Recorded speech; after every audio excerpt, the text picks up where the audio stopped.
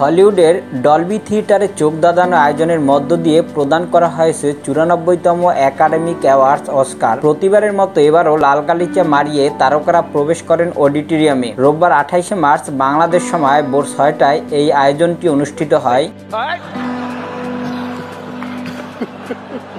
এদিন এ পুরস্কারের মঞ্চে উঠে হঠাৎ ক্রিস রকের গালে চর মেরে বসেন উইল স্মিথ। ঘটনার এই আকস্মিকতায় সবাই হতবাক বনে যান।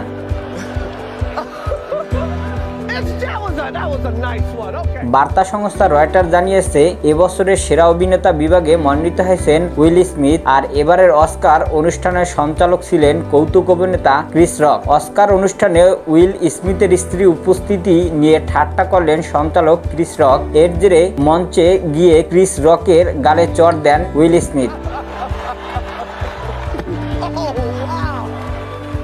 ভিডিওতে দেখা যায় উপস্থিতি অতিথিদের নিয়ে ঠাট্টা করছিলেন ক্রিস রক একে একে সবার কথা বলতে বলতে তিনি চলে যান উইল স্মিথের স্ত্রী জেডা স্মিথের প্রসঙ্গে। ক্রিস রক বলেন, পরের জি আইজেন সিনেমায় অভিনয় করবেন জেডা।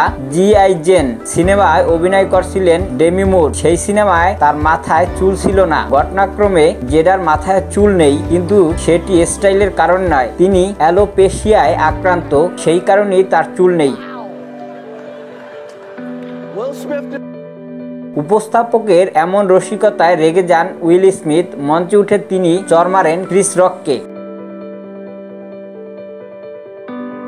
যদিও অনেকে প্রথমে ভেবেছিলেন এটি অনেক আগ থেকেই ঠিক করা ঘটনা, কিন্তু পরে দেখা যায় এই ঘটনায় উইল সত্যি রেগে গিয়েছিলেন তিনি গালিগালাজ করে বলেন, তার স্ত্রীকে এসব থেকে দূরে রাখতে এদিকে অস্কারের মঞ্চে ক্রিস রককে উইল স্মিথের চর মারার একটি ভিডিও বারিস্টুল স্পোর্টসের টুইটারে শেয়ার করা হয়েছে, যা নেটিজেনদের মধ্যে ব্যাপক প্রতিক্রিয়া তৈরি করেছে that was a greatest night in the history of television. Okay.